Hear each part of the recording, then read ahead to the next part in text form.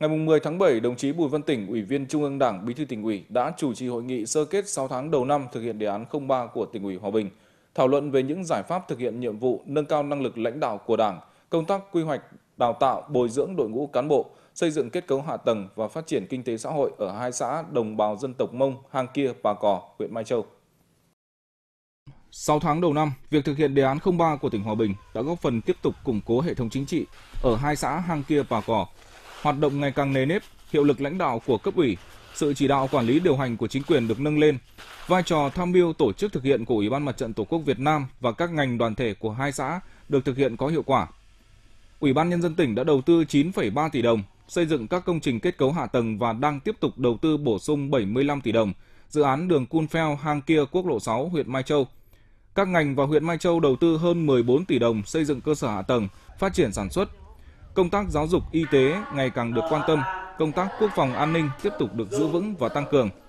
Tội phạm mua bán, vận chuyển ma túy được kiềm chế. Nhân dân ở hai xã Hang Kia, Pà Cò ngày càng tin tưởng và thực hiện tốt đường lối, chủ trương của Đảng, chính sách pháp luật của nhà nước. Tuy nhiên vẫn chưa khai thác được tiềm năng để phát triển du lịch nghỉ dưỡng sinh thái tại hai xã này. Sinh kế của người dân chưa bền vững, chuyển đổi cơ cấu cây trồng vật nuôi còn chậm.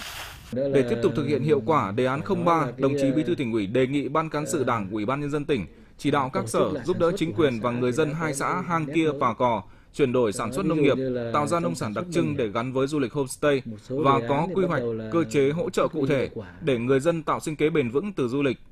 Nếu làm tốt sẽ tạo thành điểm nhấn hấp dẫn, liên kết chặt chẽ với điểm du lịch trọng điểm quốc gia huyện Mai Châu. Đồng chí Bí thư Tỉnh ủy cũng đề nghị Ủy ban nhân dân tỉnh tiếp tục bố trí nguồn vốn để hoàn thành tuyến đường Cun Pheo Hang Kia quốc lộ 6 huyện Mai Châu đây là dự án mang nhiều ý nghĩa xã hội, quốc phòng, an ninh và phát triển kinh tế, hỗ trợ thiết thực cho hội nghị xúc tiến đầu tư du lịch sắp diễn ra tại xã Hàng Kia.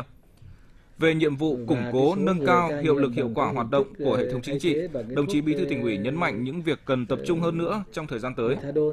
Thì cái đầu tiên là vẫn tiếp tục đào tạo bồi dưỡng cái cán bộ trong hệ thống chính trị ở hai xã. Nhất là đào tạo bồi dưỡng về chuyên môn nghiệp vụ kỹ năng lãnh đạo quản lý. Cái thứ hai nữa là tiếp tục phải ờ, kiện toàn tổ chức bộ máy và nâng cao chất lượng ờ, hoạt động, kể cả chất lượng lãnh đạo quản lý của hệ thống chính trị ở hai xã. Phát huy cách làm mà chúng ta đưa cán bộ về xã. Rồi đó là cán bộ cũng nằm ở cái, trong cái khu vực địa bàn hai xã này. Tận tình giúp cho người dân, giúp cho cái ờ,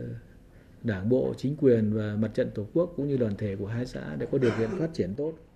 với phương Ngoài 7 nhiệm vụ cụ thể cần thực hiện trong 6 tháng cuối năm, đồng chí Bí thư tỉnh ủy đề nghị huyện Mai Châu chủ động hơn trong công tác phối hợp với các sở ngành để đề xuất cấp thẩm quyền đồng ý chủ trương chuyển các nguồn vốn đầu tư cho huyện Mai Châu thực hiện.